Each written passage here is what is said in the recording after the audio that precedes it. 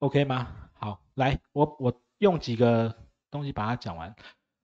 我说这个这个，我每次在讲那个商火我要并列被保险人的时候，餐饮公司常常都跟我说不用不用，变难，没有人这样子。我常常会去批改客户，如果我客户告诉我他房子租人，或者他跟人家租房子，我都会去要求他把房东，不管他是房客或房东，他的房子租给别人，我都会。哎，对不起，刚你们在看那张的时候是大的画面吗？好了，还好这还很大字哦。我把画面切回来一下。那个，呃，你、你、你们，呃，好，好，算了，我直我直接这样讲，就是如果你们有客户是跟人家租房子，那不管你的客户是房客或房东。通常建筑物会有火险，不管住火或商火，对不对？好，那我经常会顺便去做的事情，就是把把建筑物的火险批改，把房东、房客都放进去。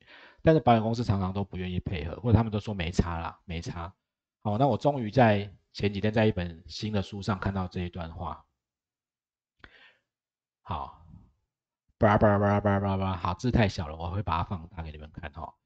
承租人未列明共同被保险人，会出现一大堆问题。来，好，来这个企业对于所拥有的的，好，就好这样看哈。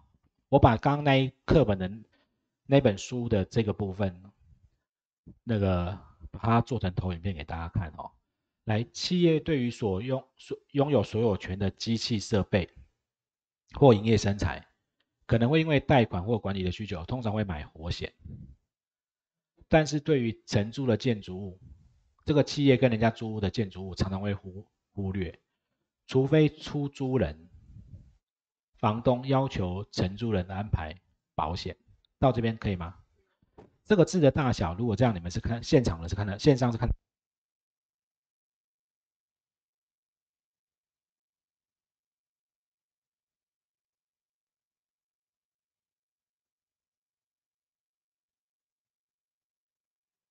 没有声音的，老师可能拉到线。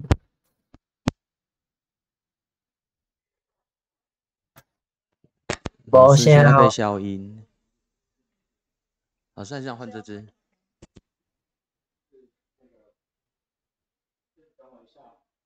老师，等老师一下哦。